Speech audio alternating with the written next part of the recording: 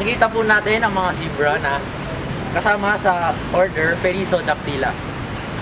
Ang order na ito ay tinatawag ding adtoad ungulate na ang mga mammals na may hooves which that pig that has a feature that have to add number of toes in the rear feet.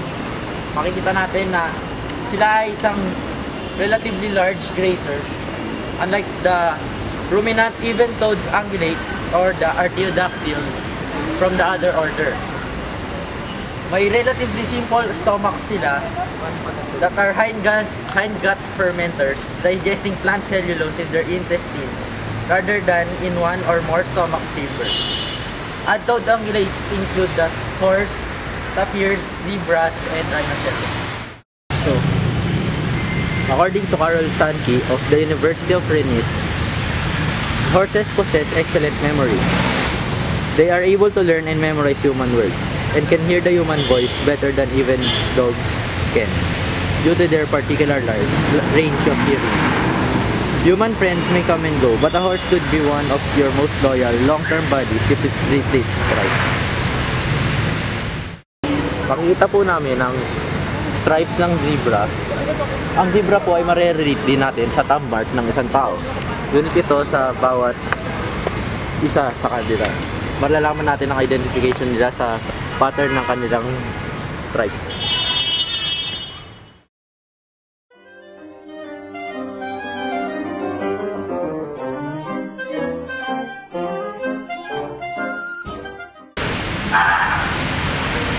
birds, what are the only mammals to achieve power Sila lang yung mammals na nakakalipad. Hindi kagaya ng flying lemurs na nag-glide lang.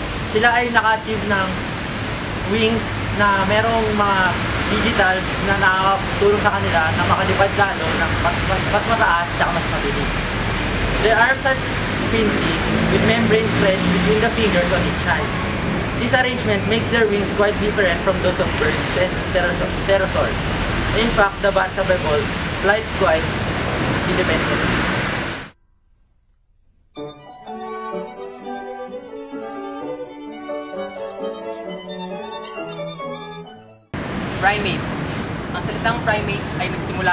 Salitang Latin na primas, na ibig sabihin ay first. May mga characteristics na makikita sa primates na hindi makikita sa iba pang groups sa mammals, katulad ng thermoregulation, nutritional efficiency, locomotion at posture, at iba't ibang life, stages sa buhay nila. So, tara, ah, tingnan muna natin kung ano yung mga species na kabilang dito sa primate. So makikita natin ang isang representative species ng prime ng primate. Isa, ya- yan ay isang monkey. Ang monkey at ang ape sa pagkakaalam ng nakararami ay magkaparehas. Pero ang monkey at ang ape ay magkaiba. Sapagkat yung monkeys, ito yung mga lower forms ng primates. Samantalang yung apes naman ay yung mga higher forms ng primates. Sa katulad ng gorilla, ng mga chimpanzees, ng mga orangutans. So nasabi ko kanina, isa sa mga characteristics ng primates ay ang thermoregulation. Ang thermoregulation, kung mapapansin natin sa mga unggoy na yan, ay napapalibutan yung katawan nila ng hair. Itong mga buhok na to sa katawan nila ay ginagawa nilang heat insulation para mag-cool off yung katawan nila. Kaya rin ah, natawag ng mga warm-blooded yung mga primates kasi nga dahil sa characteristic nila na ito. Yung pangalawa, yung nutritional efficiency. Kung mapapansin natin doon sa bibig ng mga unggoy, meron silang matigas na parte doon sa taas, yung tinatawag natin na hard palate, na nag-separate ng oral cavity at ang nasal cavity. Dahil dito sa part na to ng kanilang bibig, nagagawa nilang huminga at kumain ng sabay. Meron ding dalawang sets ng ngipin na makikita sa lower at upper jaw. Tapos, dito sa dalawang sets ng mga ngipin na to, makikita rin natin ang iba't ibang klase ng ngipin na may iba't ibang klase din ng functions. Katulad ng incisors na ginagamit for biting. Canines, ginagamit naman ito for shearing of food. Tapos, premolars and molars na ginagamit for grinding and crushing of food. Nasa, nabanggit ko rin dito yung tungkol sa locomotion ng mga unggoy. Ang clavicle ng mga primates ay more developed kung ikukumpara natin sa iba pang mammals. Itong development ng clavicles na to ay ginagamit nila para mas madali silang makaakit sa mga puno. Ganon din yung forearm nila, pati yung lower leg. Ah, de- mas developed na siya kung ikukumpara sa iba pang ah, groups ng animals na makikita sa mamalia. Ginagamit nila ito para mas madali silang gumalaw. Tapos, mapapansin din natin sa digits nila na imbis na claws, nails na yung pumalit. Etong nails na to, ginagamit nila to para mas madali nilang ma-manipulate yung mga gamit nila. Kasi sa mga primates, dito rin naki- nakita yung ability na paggamit nila ng tools. Katulad ng sa mga Homo habilis, mga ganyan, gumagamit sila ng mga tools. Tapos, mapapansin din natin na ang mga primates ay lima yung daliri. Ito, ito ang tinatawag na pentadactylism. Itong pentadactylism ito ay para din sa mas madaling pagmamanipula ng mga gamit nila na hinahawakan. Dahil din sa pentadactylism na ina-exhibit ng mga primates, nagiging posible rin sa mga primates na mag-grasp ng mga object o tinatawag natin na prehensile, prehensile grasping. Sa mga unggoy, kaya nilang magkaroon ng prehensile ability sa kamay at sa paa. Tapos, sa mga tao lamang na nawala yung gantong ability na pag-grasp ng object sa pamamagitan ng paa. Tapos, yung next na characteristic naman nito ay yung multiple stages sa buhay ng primates. May apat na stages. Ang life stage sa loob ng uterus, ang infancy stage, ang juvenile stage at ang adult stage. Sa mga primates, karaniwan, ang gestation period ay tumatagal ng mga 160 to 250 days. Sa mga humans, 9 months ang gestation or approximately 266 days. Ang lifespan naman ng mga primates, ah, sa mga lower ah, lower groups, katulad ng mga monkeys, tumatagal ang mga unggoy ng mga um, less than 20 years. Samantalang ang mga apes naman, katulad ng gorilla, ng mga orangutan, mga chimpanzees, tumatagal sila ng more than ah, 20 hanggang 30. Tapos, ah, pinakamatagal sa kanila is pwedeng umabot ng hanggang 50 years. Samantalang ang mga tao naman ay pwedeng umabot or may average lifespan na hanggang 70 years. Isa rin sa mga characteristics ng primates ay ang behavioral flexibility. Kung saan dito, malalam, makikita natin na mga primates ay sociable kumpara sa iba pang mammals. Ang mga primates, karaniwan, kapag nag-aasawa sila, yung mga babae sumasama dun sa lalaking primate. Ah, unlike dun sa iba pang mga animals, hindi sila nag-exhibit, nag-exhibit ang mga primates ng monogamy. Kar ah, most sa kanila nag-exhibit ng gantong ah, pamumuhay. Tapos, yung kung mapapansin natin sa mga unggoy, minsan nag-aano sila, naglilinisan sila. Etong grooming na to ay part ng buhay nila kung saan ah, parang pleasurable activity na ito na naging part na ng buhay nila na kapag hindi nila ginawa to, parang na, mas, mas natadagdagan yung stress nila sa buhay. Tapos, isa sa mga significant na variation ng sa primates ay ang stereoscopic vision kung saan yung vision ng left eye at ng right eye ay mag-overlap. Tapos, yung overlapping ng visions ng dalawang mata ay magkakaroon or magpuproduce ng 3D effect dun sa object na tinitignan nila. Itong stereoscopic vision ay importante for hunting. Lalo na sa mga unggoy na syempre madaming puno yun. Kailangan nila ng malinaw na vision.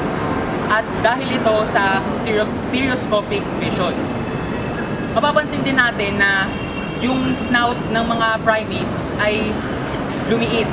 Ito ay dahil sa ah, nag-improve, mas nag-improve na vision ng mga primates.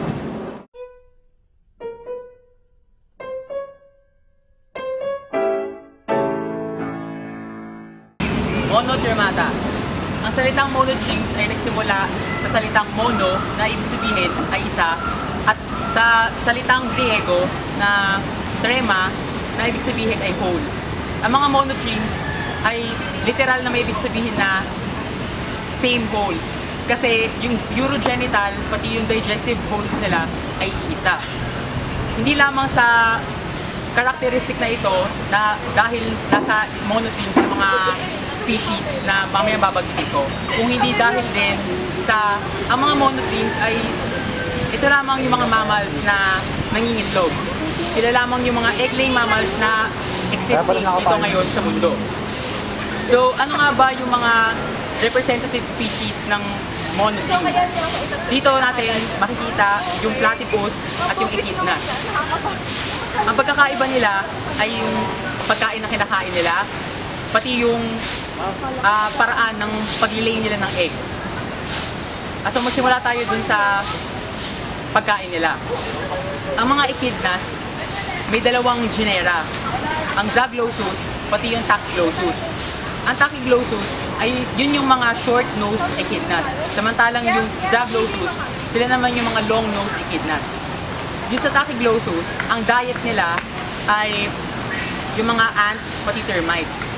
Dito sa short snout nila or sa short nose, meron silang half, meet, half a meter na dila. Tapos, itong dila na to ay covered with spikes na functional sa pag-grind ng mga insect skeletons. Sa ganung paraan, mas madali nilang madadigest yung pagkain nila. Yung mga Zaglossus naman o yung mga long-nosed echidnas, ang diet naman nila ay yung mga scarab larvae, larvae pati yung mga earthworms. Sa platypus naman, meron silang ah, duck-like beak. Tapos, dahil marine yung kanilang environment, ang kinakain nila ay yung mga marine invertebrates, katulad ng mga small crustaceans, ng mga bivalves at mga gastropods. Magpunta naman tayo dun sa paraan nila ng pangitlog. Sa echidnas, ah, hinihintay muna nilang mag-hatch yung itlog. Tapos, habang naghihintay sila, yung, egg- yung itlog na yon ay nilalagay nila sa pouch nila sa belly. Tapos kapag ah, nag-hatch na yung itlog na to, doon na nila ilalagay yung anak nila sa dry depression na may mga vegetation. Samantalang yung sa platypus naman, hindi na nila ini-store doon sa pouch na yung, nila yung itlog. Kung, kung hindi, ah, hinihintay na nila mag-hatch yung itlog sa depression na yun or sa burrow na may dry vegetation. Sa characteristics naman, ang echidnas napapalibutan ng short hairs at long spikes. Itong short hairs na to ay ginagamit para sa thermoregulation din. Samantalang yung mga long spikes ay for, for protection. Ang platypus naman, hindi natin makikitaan ng mga ng mga spikes. Kung hindi makikitaan natin sila ng fur. Tapos, yung mga platypuses, meron silang web feet na ginagamit nila sa pag-swim nila sa tubig. Sa ganito paraan, mas makakagalaw sila sa tubig na maayos sa tulong ng kanilang beaver-like tails. Characteristics ng monotreme ay ang pagkakaroon ng spurs. Sa echidnas, ang mga male species ay may spurs, samantalang yung sa female species ay hindi ganun ka-conspicuous yung spurs nila. Sa platypus, ang mga male species ay may venom glands sa spurs nila. Kaya ang mga platypuses lang ang tanging mammals na venomous. Samantalang doon naman sa mga female representative species ng platypuses, yung spurs nila ay nawawala kapag nagmamature na sila. Ang mga ngipin naman ng platypus at, at echidnas ay present kapag ah, sa mga early years nila. Tapos, as they mature, nawawala itong ngipin na to. Tapos, nagde-develop sila ng hard pads na ginagamit nila for chewing. Ilang fun facts lang about sa monotremes. Sa echidnas, yung mga ah, nose nila ay ginagamit nila for reception electromagnetic waves, katulad ng ginagamit ng mga sharks at whales. Ang mga echidnas din ay nangingitlog ng isa lamang, isang beses lamang sa isang taon.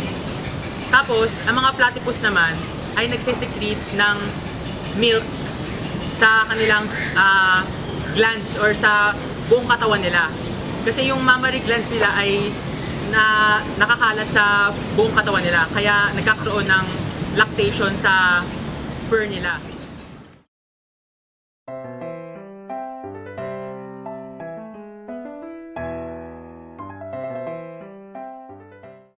The Proboscidea are a taxonomic order containing one living family, the Elephantidae, and several extinct families. Um, this order encompasses the trunk animals. Later, Proboscideans are distinguished by tusks and long muscular trunks. Itong mga features na to ay less developed or absent in early Proboscideans. The earliest known proboscidean is Erythium, followed by Prospaterium, um, a small animal about the size of a fox. So, itong elephant, uh, an elephant na to ay considered as Asian, Asian elephant.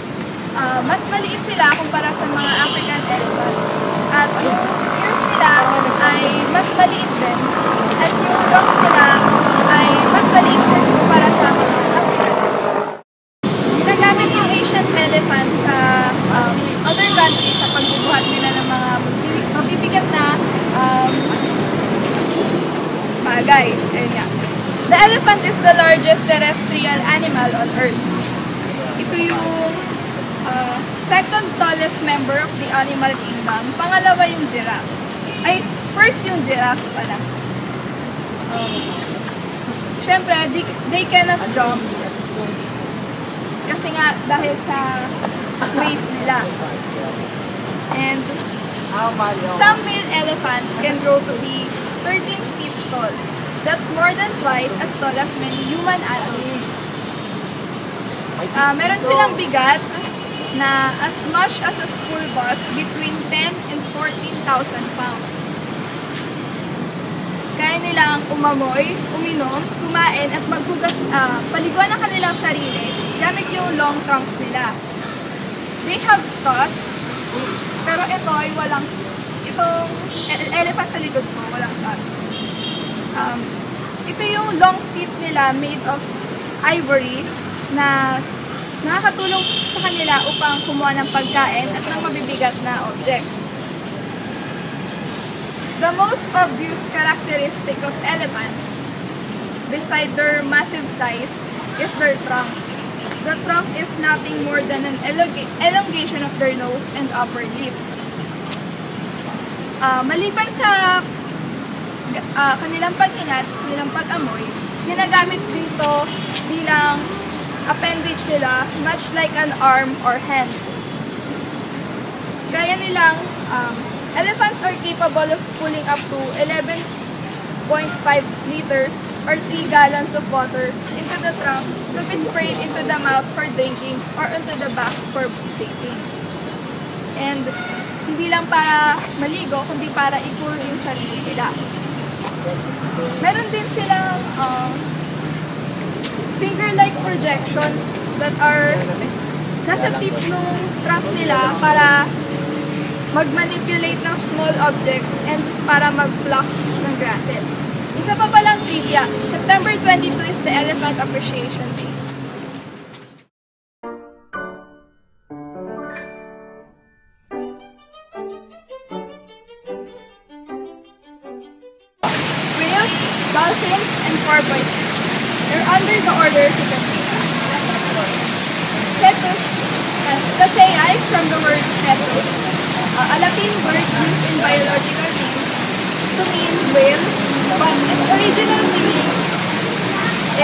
Large sea animal. Cetaceans share common ancestors with land-dwelling animals that began living in marine environments and 50 million, around 50 million years ago. Today, they are the mammals best adapted to aquatic life. The body of cetacean is cruciform or spindle-shaped. Yung forelimbs nila are modified into flippers. Um, the tiny hind legs are vestigial and they do not attach to the backbone and are hidden within the body. The tail has horizontal loops. Yung mga cetaceans are nearly hairless and are insulated from the cooler water they inhabit the a thick layer of blubber. Yung cetaceans, um, they are, uh, nito yung mga whales, dolphins, and porpoises. Una muna yung whales. Whales have a long, streamlined shape with no hair. They have thick layer of fat called blubber to keep them warm in cold water. Sila din yung largest animal in the world. They are able to grow so large because yung huge weight nila is supported by the water. Kung yung land animal ay lalaki ng katulad ng sa whale, yung mga legs ng land animal would would collapse because of the um, weight of its body. Kumakain sila ng mga zooplankton. Next is yung dolphins. They are smaller than whales. They use echolocation. Echolocation, yun yung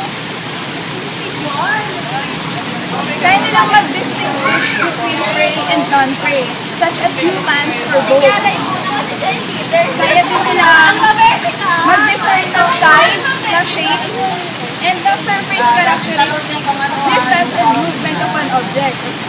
Dahil sa ability na to, kaya nilang maghanap and mag-chase and catch fast swimming prey sa in total darkness. Yung mga dol- dolphins, they also feed on fish and squid. Yung largest member ng dolphin is yung orca or killer whale. Killer whale feeds on sea mammals such as seals or whales. They have backward curving dorsal back fin. Meron silang mammalian myoglobin na makikita sa skeletal muscle. Myoglobin by nature has a higher oxygen affinity than hemoglobin. Dahil dito, the higher the myoglobin concentration in skeletal muscle, the longer the animal can stay underwater. Mas matagal siyang magstay sa ilalim ng water. Tapos, meron ding blowholes or nose tails yung mga cetaceans.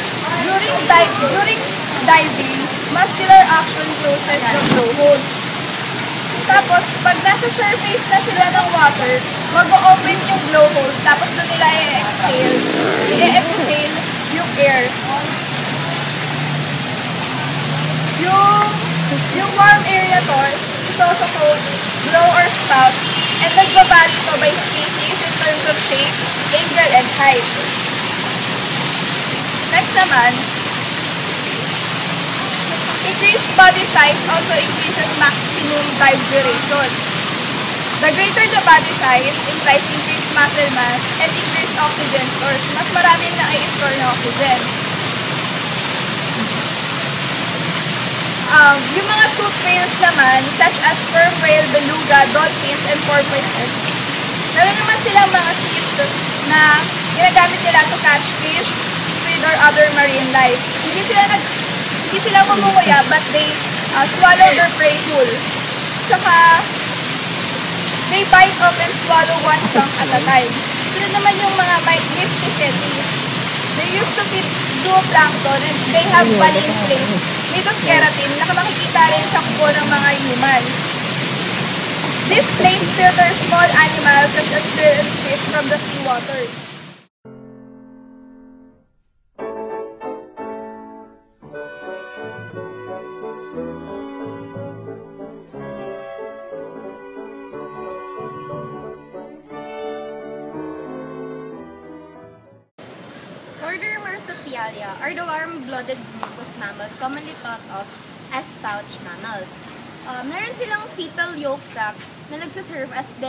Placenta.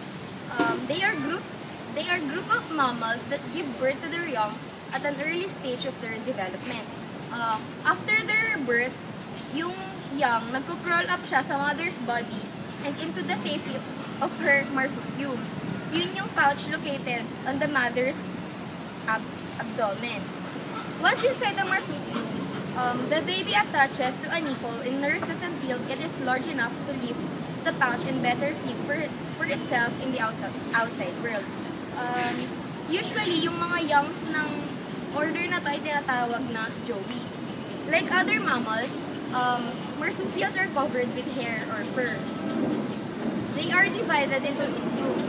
The American marsupials, that includes the oposome and true oposomes, and, the, and Australian marsupials, which include the kangaroos, wallabies, Tasmanian devil, and bandicoots.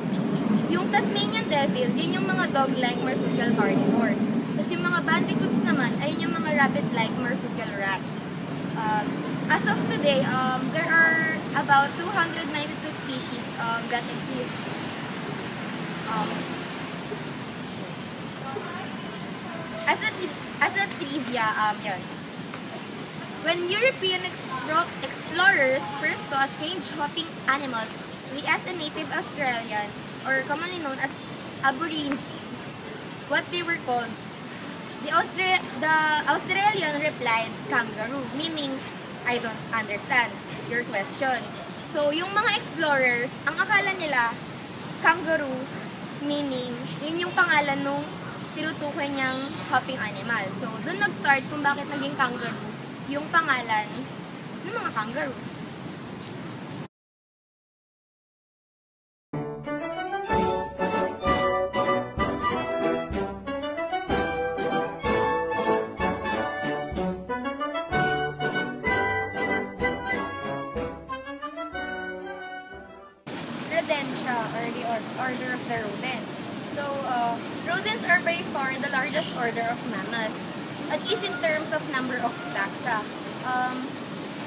Over 40% of mammalian species belong to the order Rodentia.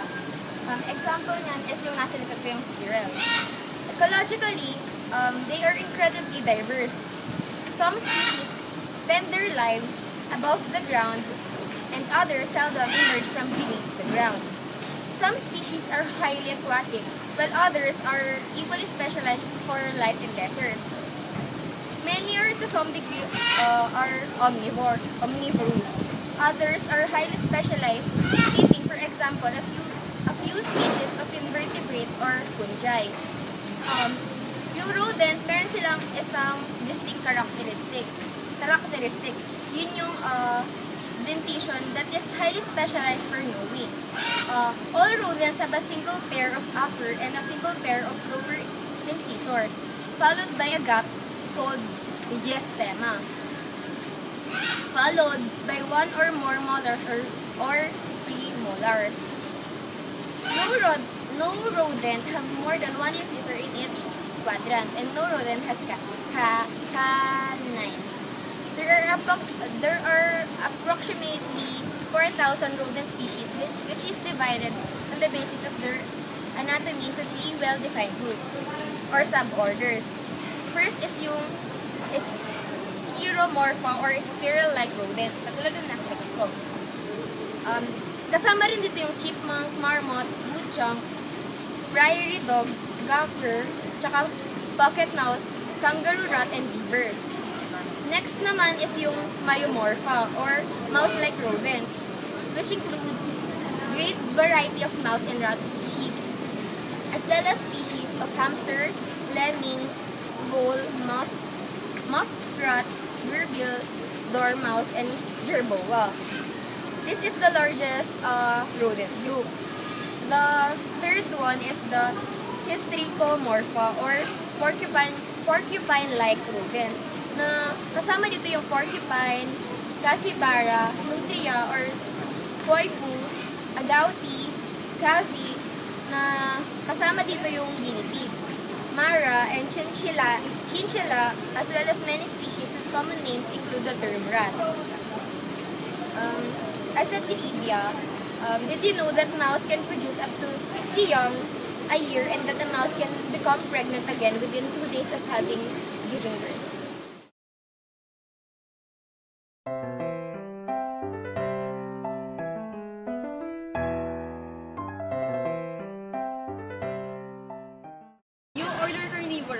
Divided siya sa dalawang suborders. Yun yung suborder Pinipedia at saka suborder Pisipedia. Yung suborder Pisipedia, yun yung mga terrestrial carnivores o yung mga nandito sa land na mamuhay. Gaya ng mga lions, ng mga dogs, raccoons, panda, bear.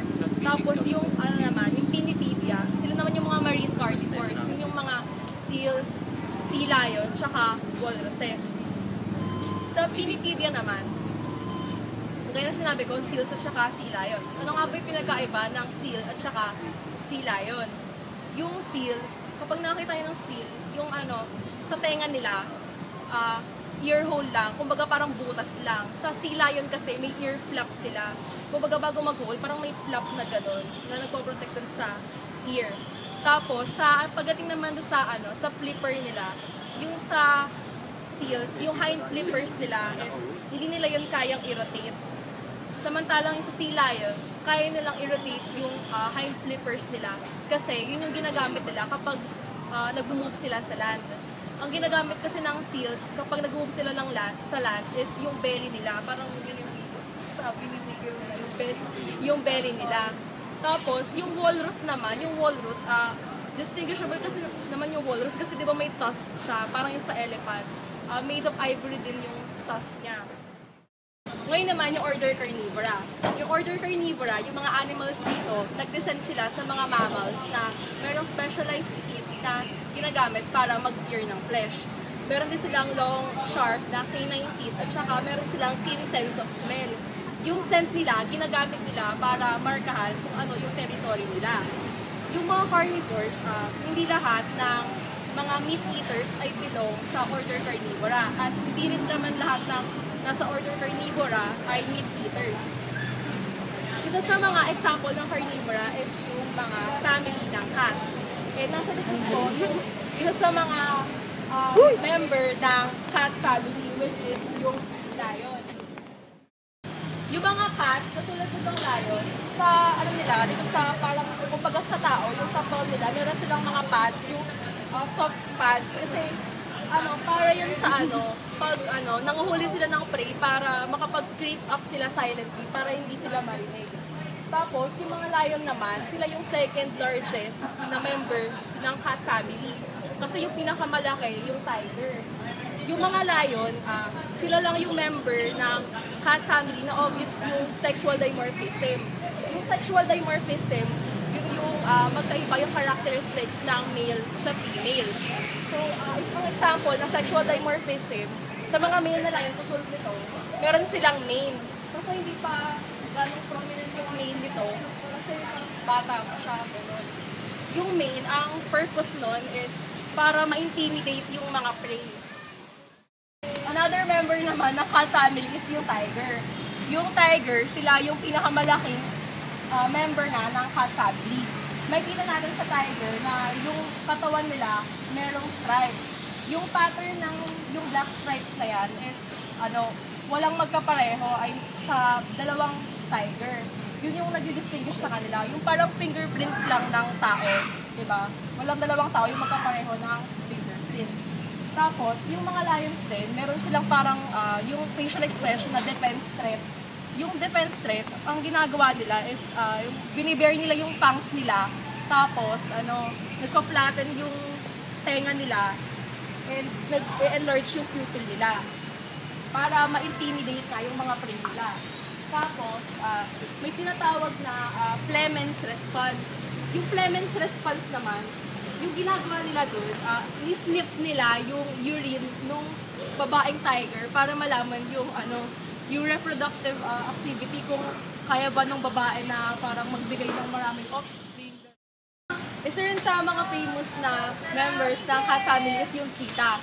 Alam naman natin, di ba, na yung cheetah, yun yung ah, fastest land animal. Yung cheetah, kaya nilang tumakbo sa ah, 70 to 75 miles per hour.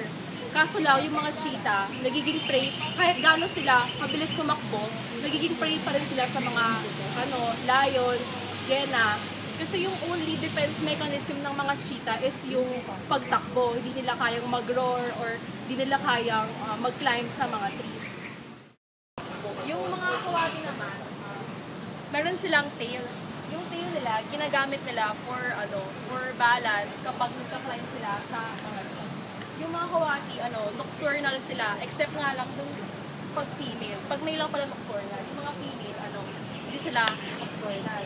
Tapos yung mga kawati din, isa, isa sila sa mga pinakamaratalinong mga animals. Kasama din, ah, kapamilya din ng mga kawati, yung mga raccoons at saka mga giant panda. Yung giant panda, ano, ah, taliwas sa ibang mga knowledge na ibang tao, hindi sila bear. Kasi kapamilya nila yung mga raccoons at saka mga kawati. Yung giant panda, isa yun sa mga ano, rarest mammals na ah, na na extant ngayon.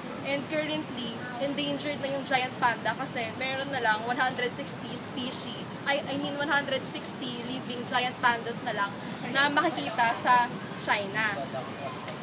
So, yun. Yung mga giant panda, meron silang blubber. Yung blubber na yun, ano yun, fats yun, layers ng fats na ginagamit nila para pang pag-winter, para hindi sila malamigan. Isa pang members ng Order Carnivora is yung mga dogs. Yung mga dogs, ah, pang-anim sila sa pinakamatalinong mga animals. Yung mga dogs din kasi, kaya sila nasabing matalino kasi kaya nilang magbilang, kaya nilang mag-arithmetic. Actually, kaya nga nilang mag-detect ng errors sa computation. Halimbawa, pag sinabing 1 plus 1 equals 3, alam nila na mali yun. Kasi di ba yung tama, 1 plus 1 is equals to 2. At yung mga dogs din, kaya nilang mag-memorize na 165 words. Tapos, yung pinakamatalinong breed ng dog, which is yung Border Collie, kaya niyang mag-memorize ng 265 words.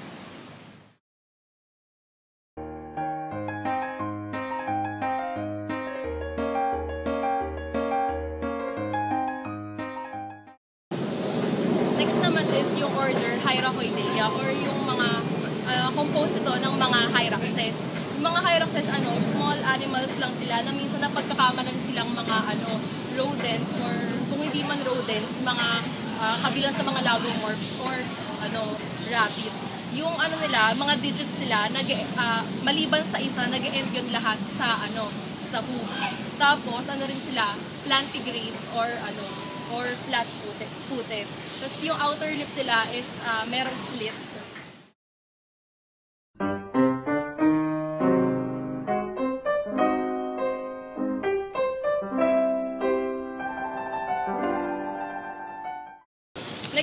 Is yung order Sirenia. Yung order Sirenia, ito yung mga tinatawag na sea cows. Uh, kabilang dito yung mga manatees at saka dugong. Yung uh, dugong, di ba meron sa Pilipinas sa may Don Sorsogon, ginagawang tourist spots yung dugong. Yung uh, mga manatees at saka dugong, exclusively vegetarian sila at saka yung katawan nila uh, naked, uh, maliban lang sa mga ano, few hairs. Tapos yung all through their life, lagi lang silang nasa tubig and sobrang ano, galing nilang mag-swimming and sila yung uh, isa sa mga aquatic mammals or aquatic animals na sobrang adapt adapted sa uh, marine environment.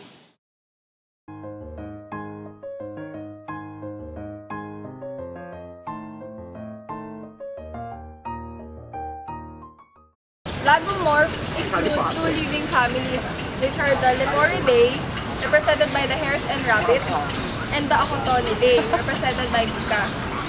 There are about 80 species of lagomorph, which include 30 species of pika, 20 species of rabbits and cottontails, and 30 species of hares.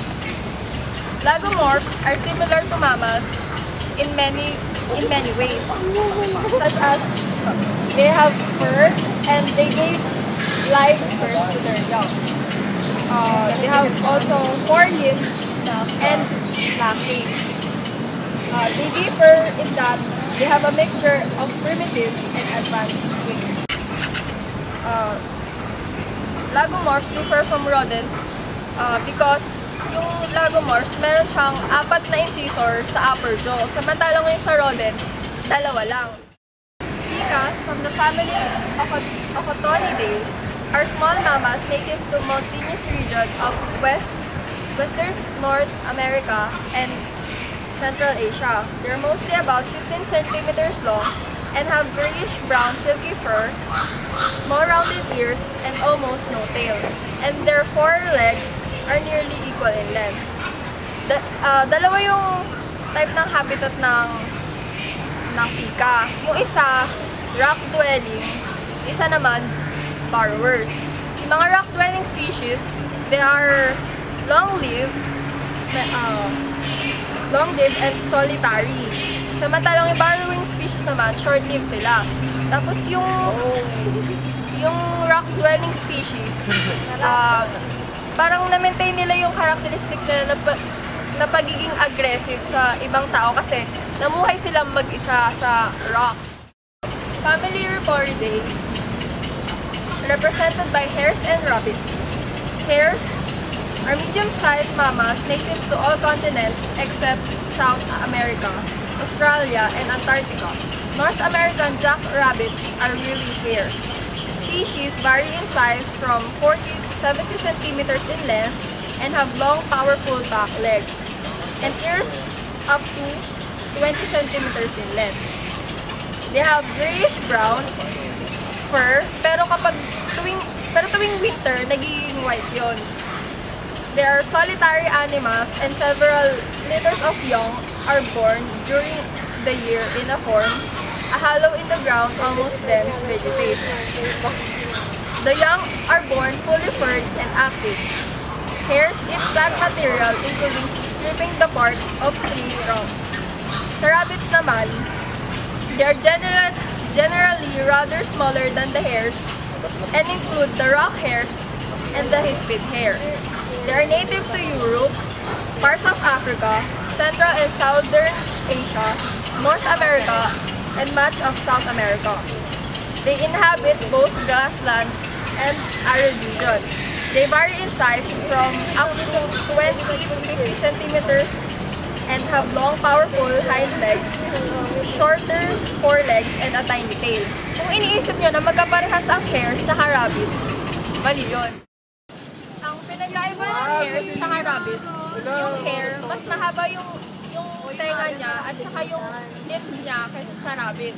Tsaka yung habitat sa hares, na, yung tinitirhan nila, yung mga flattened grass na tinatawag nila forest. Samantalang sa rabbit, nag-dig sila underground, tapos doon na sila namumuhay at saka doon na sila nangain.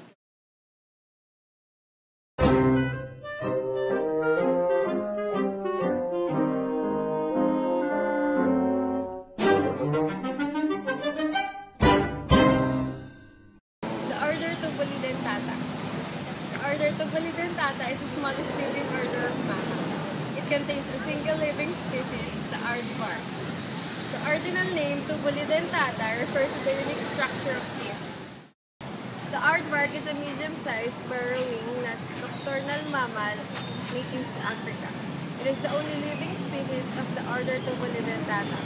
Although other prehistoric species in genera of Tubulidentata are known, it resembles a pig with a long snout, which is used to sniff out food.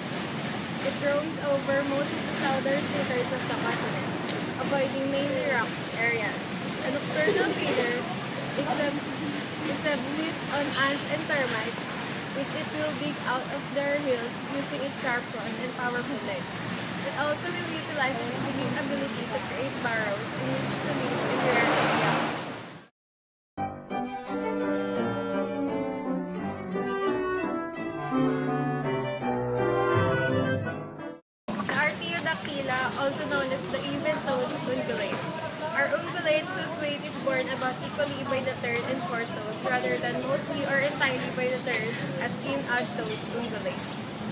It comes from the Greek word artios means even and dactylos which means finger or toe.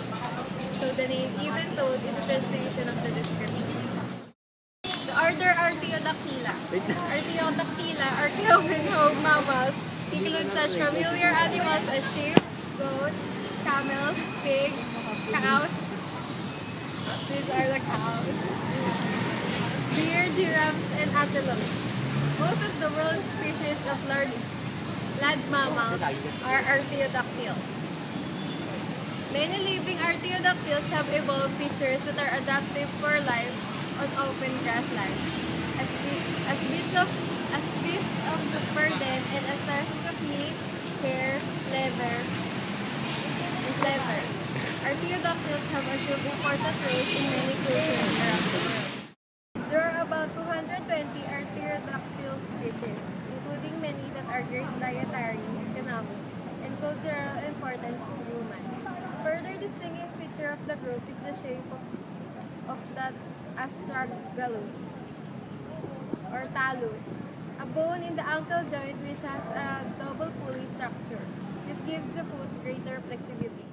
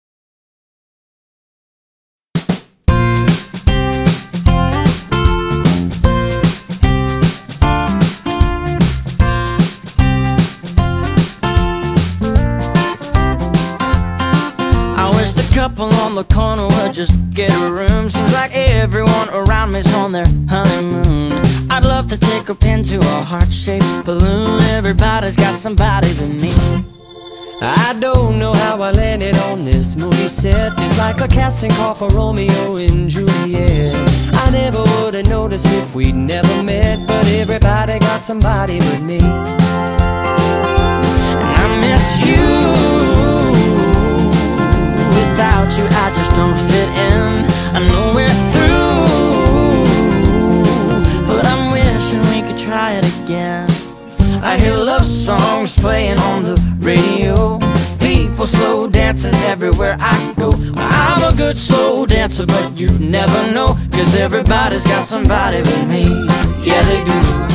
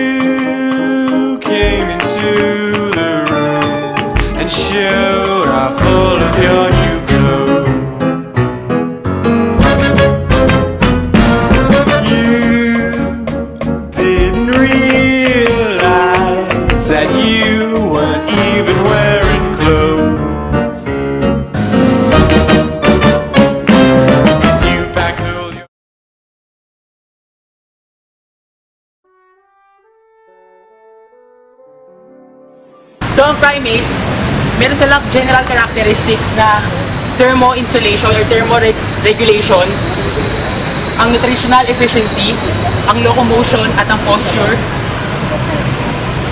Kalimutan ko na kami dito. Fun facts lang about sa mga monotrees. Sa echidnas,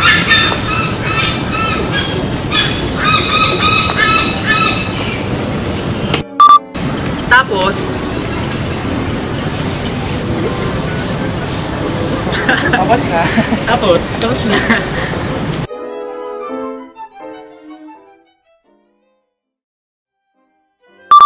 also known as the insect eaters. Most of them are nocturnal, emerging... Ah! Kung iniisip nyo na magkaparehas ang hares tsaka rabbits, mali yun. Kasi yung hare, ano sila,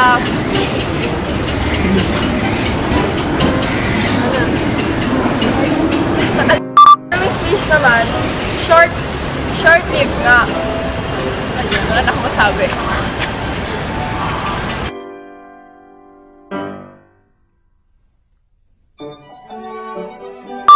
Hey, Mim. Isa pang member ng cat family is tiger. Yung tiger, sila yung mala- ah, pinakamalaking member ng cat family. Pangalawa, yung lion. Makita natin sa tiger, meron siyang mga stripes. Yung stripes na yan, ano siya, yung pattern yan, unique yan ah, to every lion. Bali parang walang dalawang lion, yung magkapareho yung pattern ng, ng stripes. Parang ano, fingerprints. Ayun masabi ko. Ayun. Tiger, sila yung pinakamalaking member ng cat family. Pangalawa yung lion.